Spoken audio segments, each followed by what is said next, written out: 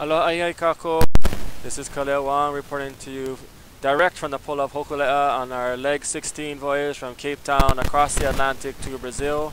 Uh, here we are on day 10 of our of our journey. Uh, we expect about another week before we get to our first destination of St. Helena.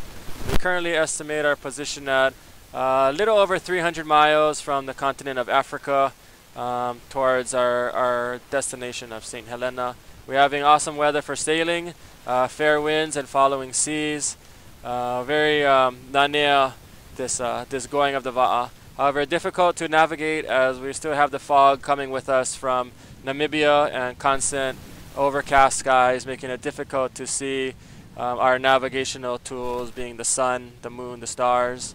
Uh, we have winds that seem to be shifting all over the place and not really blowing from a constant direction uh, also making it difficult. And the small seas without a without a dominant swell um, is also making it difficult. So a lot of things uh, going on here, but we're still continuing on navigating as our ancestors have done for thousands of years, and are excited about our first landfall coming up in about a week.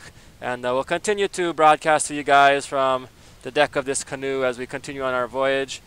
Um, mahalo for following us and continue to follow us on our website www.hokulea.com. Mahalo nui, aloha.